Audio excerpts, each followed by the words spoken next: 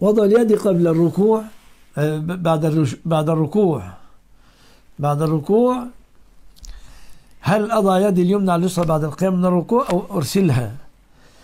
عجبني كلام الإمام أحمد بن حنبل في هذه المسألة لأن الأدلة توافقه وهو أن في الأمر سعة إن شاء أرسلهما وإن شاء وضع اليمنى على اليسرى. إن شاء أرسلهما وإن شاء وضع اليمنى على اليسرى. لماذا؟ لأن الأدلة ليست الأدلة للطرفين قوية. الطرف الذي قال نضع اليمنى على اليسرى استدل بالعموم.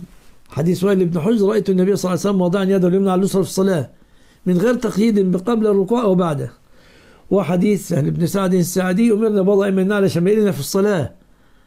فأيضا لم يحدد قبل الركوع وبعده القائلون بأننا نرسلها عموما كالمالكية استدلوا بحديث صلي عفوا كبر ثم اقرأ. وما قال ضع اليد اليمنى على اليسرى. واستدلوا بعد الركوع طريق القائل بإرسالها بعد الركوع بأن النبي كان إذا قام من الركوع رجع كل مفصل إلى موضعه. فقالوا هذا الوضع هذا الوضع المعروف للمفاصل اليد.